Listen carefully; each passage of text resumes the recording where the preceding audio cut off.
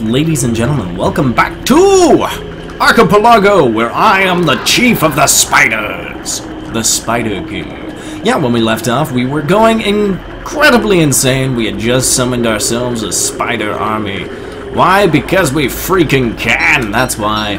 Um, we just look so fantastic with them following us all over the place. I thought I should mention at the very beginning of the episode, so that you guys can have your diligent eyes looking after it, that uh, I am changing how I um, how I record my videos. So if you notice a drop in quality or an increase in quality or anything like that, please, please, please, please let me know because uh, I'm trying to figure out whether or not these settings are actually worth it. So, um, yeah. yeah, so when we last left off, we were on Archipelago. We, uh, we were trying to find... I think we just got to this island, so we are trying to find... We just found this wormhole here. We already knew about this one. This is where we came from. And we're trying to find, without the use of our divining rod for some reason, um, where the thingamy thingamajigger is on this place here, in, in this area. So we're going to use it. Oh, look at that. We found ourselves another wormhole. Um, I'm not going to go through it just in case it is like a sick wormhole or something like that. I do love these tumbleweeds, though. I might actually have to go back to um, the bees to try and get some more... Oh, oh, oh, come on. I want you. I want you. Ah. I really don't need these spiders. And I kind of wasted a lot of food giving them. I gave them all of my food. I'm an idiot. Anyways, I am going to have myself a little bit of a uh, gander at uh, finding where the heck it is. And if I find something, I shall let you know. Guys, welcome back. We found it! Now, we do have to be careful. The pig did go to sleep, but uh, we are the enemy of the pig. Because... Oh, look at that! We found Chester! That's awesome! I love Chester. I'm going to pick him up immediately because I am out of inventory space. You guys do not attack Chester. Oh, they're attacking Chester. Gosh darn it! Well, not my guys. My guys are too friendly. Yeah, and if you hadn't noticed, we are past the point of no return for sanity right now, so basically what that means is we have the squiggly lines, and we are going to be attacked by our, um, our hallucinations, which is not very cool. But at least we found, um, Chester, so Chester will boost our sanity by nothing, because it's Chester, but you know what? He makes me more sane, and that's what counts. Because I'm pretty insane. Okay, this guy's gonna try and attack me, and I'm just going to attack him first. Ow! Okay, you, how you deal with these guys is you let them attack you once. You do this. Yeah, there we go. And then you hit them. And you just do this a couple times. Killing the, uh, staying next to them, by the way, does decrease your sanity, so be careful of that. Um, but killing them will actually give you a sanity boost, which is really nice. So like now you see I'm at 20 instead of the, well, I think I was like at 5 by the time that I actually killed him. So it's a really nice boost to kill those guys, just get them out of your way. They're pretty easy to kill, you just have to hit them a couple times. Uh, bringing Chester in with all these spiders is probably not a good idea. Um, I think we're gonna go through a wormhole because I need something to boost my sanity. So I'm gonna go through this and I'll be right back.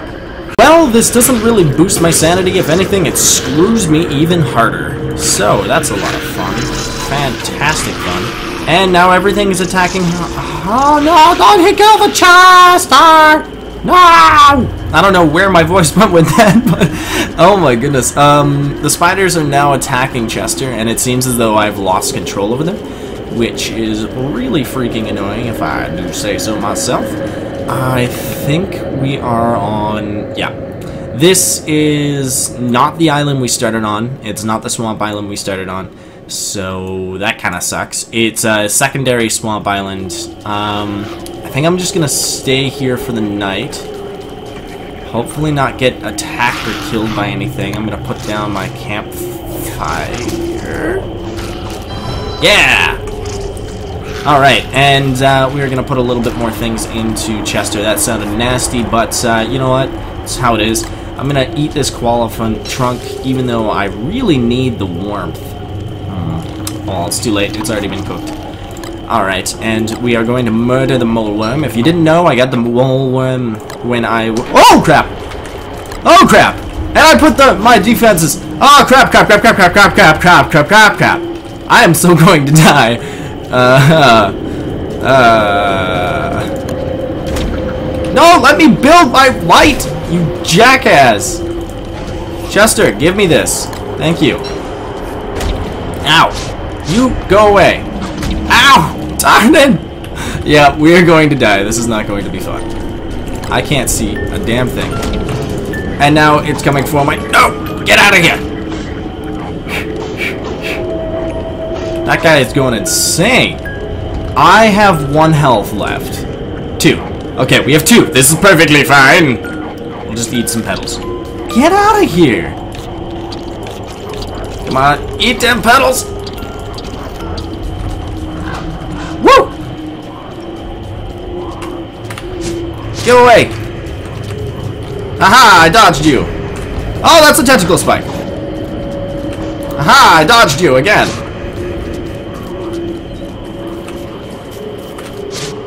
Oh no! Ah! Done! oh my goodness. Well, we suck. And by we, I mean me. Ah. Alright, let's go back in. Um... I knew that dying was going to happen. Um, I am not very good at this game, and I'm not good enough to play adventure mode, apparently. I think I'm good enough. Anyways, let's go back in. Let's activate the adventure door once more and get molested by dark, dark creatures. Oh yeah, they're coming for my goodies. See you on the other side. Welcome to the other side, guys! It turns out we got a cold reception. Yeah, that's not one of the greatest ones, but it's one of the easier levels. Um, the only thing that we really have to worry about in this one is uh, certain resources being scarce and, um, you know, constant rain and snow. It's like every three days it snows, every day it rains, so... It's a bit of a pain in the ass. We're going to need to get ourselves a pretty parasol as soon as possible. Uh, one of the things that I've noticed uh, from playing this on stream, and I don't stream anymore due to uh, kind of like just where I live, it like terrible time zones and all that stuff. It's just not cool. When I'm awake, everybody's asleep. And it's just like, oh, well, I'll just play it by myself, but put it online because I like to use bandwidth. Except I don't have a cap on my data. Anyways, um, yeah, so one thing that I've noticed when I was streaming that is that um, the area that in which you spawn in normally has a lot of the resources that you need. Um, whereas as you go further out, you'll start noticing what which resource is actually, you know, scarce. So this could be, like, this is the type of tree, by the way, that doesn't give you any sort of seeds. I really, really, really, really, really need some petals. What are you? Oh, crap! Ah! Get out of here. The uh, pigs automatically hate me anyways, but uh, this is one of those torch pigs that tries to, like, protect the torch. Protect the torch. Torch is life. Torch is love. Torch is everything. Uh, yeah, so I was thinking a couple of you guys were giving me some tips as to, like, what to bring with you. Um, when you go through the portals, and I'm sure we'll get through one eventually. um, when you go through the portals, you're allowed to carry four slots of items with you. So, like, four of these inventory slots down here with you. And, um, what I was thinking is a really good idea to bring with me. You guys were suggesting, like, winter clothes, you know, some warp stuff, and until, you know, I at least get through the King of Winter, which is the perpetual winter one. Um, I don't think that's actually a really good idea. Like, it's an alright idea and all that stuff. Like, it, it, you know, you need some winter clothes. They don't really give you much in the way of winter protection when you're in that level, but, um, no, there's actually a better, better way of going about it. I'm gonna create my pretty parasol. No, actually, um, a better way of doing that is to just bring along the materials in which you'll need to create the winter clothes. So, like, a winter hat requires silk and and um, fur, beefalo fur. So, like, instead of bringing a winter hat along, I could bring uh, beef, uh, beefalo fur and silk. And, you know, beefalo fur and silk can be very useful in later levels. Uh, some of you were suggesting bringing a bug net into the last level, which is, um, I'm gonna keep that a secret. But, um, yeah, instead of bringing a bug net, maybe I could just bring a lot of silk and some sticks, because a lot of silk and some sticks is going to make me a lot of bug nets. Whereas, you know, if I had just brought one bug net, I can only catch 10 bugs, and that's not cool. I want to catch all the bugs! All of them! Together! Forever! Can't keep the buggy brethren alone. Anyways, it looks as though we do have um, enough straw, uh, like grass for a straw hat. One of the problems that I have run into is like I found a bunch of grass when I first started out on Cold Reception, and then I would create myself a straw hat because, you know, keeps the rain away, keeps the wetness at bay. But uh, then I would find out later on that grass was actually a, um, a resource that I, I didn't have much of, so I ended up screwing myself over in the end, which is not cool. Anyways, yeah, a cold reception is basically a mixture between spring and winter over and over again. I don't want to stay here very long. And look at that, we found our first piece of the puzzle. I was just about to cut here and say I'm going to go looking for it, but uh, I ended up finding it. That's pretty awesome. Alright, so here we go. I am going to cut here now and see if I can find something before um, the evening starts. The other thing that you'll notice is that uh, we don't have very much daylight. Which is perfectly fine with me because like spiders don't really bug me and they're normally the biggest threat during this time other than the fact that like your sanity goes down 24-7. Yeah. Anyways, time to do that thing that I said I was going to do like three years ago. And I must be getting good at this. This is the second one down. We've got ourselves a metal potato thingy. And it didn't even take me that long. Oh my gosh. We're amazing. Anyways, I'm going to continue on my wayward son. Don't you cry no more. I don't know where that came from. Anyways, I'm going to continue on, and I'll be right back. Guys, welcome back. Yeah, I didn't find anything yet, but I did find some gold! I love gold. Gold is amazing. It allows me to craft so many useful things, such as a freaking backpack. Give me the backpack, and I will love you for life. Why? Because I always have problems keeping things in my pockets. Yeah, that's right. I have very large pockets, but I also have other things that I keep around my pockets that uh, take up a lot of space. And I mean, like, carrying this many rocks around with me is kind of taking up a lot of space. Um, yeah, so I'm just going to grab myself some gold. We're going to be able to make ourselves a science machine. One other thing that you'll note um, that, that's pretty interesting is when you go through these worlds... Oh, crap. Oh, crap. This is not good. Um, boom. Yeah. There we go. Alright, when you go through these worlds, um, what ends up happening is... Hmm, let's light this on fire, because I don't care. Alright. Um, what ends up happening is you, you keep all of the things that you've already crafted. So if I was to craft a science machine, I don't need to learn the recipe for it anymore. And if I was to... Uh, oh crap, oh crap, this is not good. No, I don't want you to examine the... Take the light and put it in your hand. Thank you. Okay. Haha. -ha. Yes, I know that's log. That is a nice log, but I don't need you to look at it. I'm gonna just plant this down because there's plenty of spiders around. I don't really need it. Uh, we'll take this and this, and we'll pick up our axe. There we go. And I think I'm gonna eat some stuff. Okay, you take your recipes with you. this is taking me forever to say. You take your recipes with you, so I remember these recipes right here. And uh, anything that you build, you can take structures in with you. So anything that you've pre-built, so let's say that I built myself a science machine. Well, um, oh, that was a little bit of a lag there. Um, well, that would mean that the science machine comes with me. That's right, he's my buddy for life. No, he comes with me and, you know, I can just place him down. If you want to know how to pre-build things, um, all you have to do is just right-click to cancel placing them down. And yeah, I'll actually show you how to do that in a moment here, once I get enough wood, because uh, we need one more log, and then we'll be able to do this. There we go. So all you have to do is click on it. It'll give you the green go ahead, and then you just right click and you won't build it, and it stays in your inventory. Now I've got a little bit of a bug glitch, that's because of um, this mod right here. Whenever you add mods, it kind of like destabilizes the game. I don't know why. You'd think they would be used to that by now, but oh well. Anyways, I'm going to continue on my way, and I'll be right back when I find something.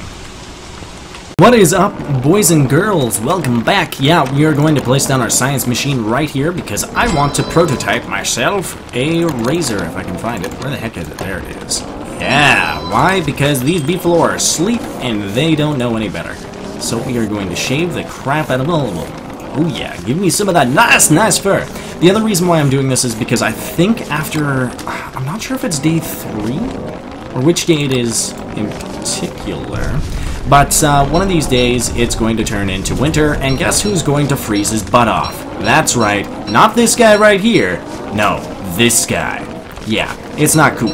Anyway, so I decided to uh, bunker down, get some beefalo. I might as well also prototype myself a backpack while I'm at it so I can hold more things. Thermal stone, I need a... Ah, I need an alchemy engine. Um, do we have enough stone for that? Well, that... Okay, refined stone is three. So... Oh, that's six in total, and then we need two for each of these, I think. Nope, just one for each. So it's 6, it's 12. We have enough. But uh, that means we won't be able to make ourselves a fire pit, which is, eh, that's alright with me. We'll have to worry about making the fire pit some other time. So here we go. We just need four of these. There we go. We got them. Look at how sad they are. Oh my gosh, I feel so bad. No, I don't. It's either you or me, pal. It's either you or me. Oh, we're going to need a lot more wood for this stuff, too. Alright, well, I'm going to be right back once I have myself enough wood, and we're going to prototype more stuff. Now, I don't recommend uh, doing, like, what I'm doing. It's just that cold reception is kind of, like, a little bit easier of, um, of a map to play on, so, like, it's easy for me to set up a permanent esque type of base type thing and I did kind of like put it near the middle and it is kind of near resources as well which is good. But um, yeah I don't really recommend you know building yourself any sort of permanent structures at least in your first world unless you absolutely need them like I do so yeah. Anyways I'll be right back. Welcome back guys, so we do have ourselves an alchemy engine now, I'm just going to right click, I'm pretty sure it, it allows me to prototype the same things that you need as uh, for uh, that you would need the science machine for. So I'm just gonna kind of leave it alone. I can come back for it if I need to, but I'm gonna go on the road. I don't really need um, anything from the science, uh, from the alchemy engine just yet, so I'm just going to continue going. That's the biggest thing you want to make sure that you're doing, especially in King of Winter. You want to make sure that you are continuing on, uh, continue like Continuing on continuously. Man, I am a wizard with words. Oh yeah, so amazing. Alright, so um, yeah, you just want to make sure that you are continuously moving and looking for those parts. You don't want to dwell in a world too long because uh, eventually the lack of resources and all that other stuff, all that fun stuff, will catch up on you and it will start to wear you down until you die as we saw with Archipelago. I got a little ahead of myself. I should have went back to the bee world there and, you know, kind of picked up all of the flowers I could possibly get my hands on. Yeah, but uh, I didn't do that because I'm silly. Anyways, yeah, so let's see. What do we got? Let's go this way. Yeah, I'm gonna go looking for uh, another one of these things and I'll be right back. Welcome back, ladies and gentlemen. Yeah, so, um, we kind of ran out of time for the rest of the video. I didn't really find anything else. So, yeah, this is what we have so far. Yeah, we cut one thing here and things all over the place. Anyways, yep, yeah, I thought I would uh, kind of cut the video a little bit shorter because that means I can put out uh, more episodes a little bit quicker and things like that. Let me know in the comments below what you guys think of, you know, this new recording setup. Um, I, I need to know if there's any glitches or anything like that. Look at that, we fantastic beard. Anyways, I hope you enjoyed the video as much as I did making it. Until next time, bye.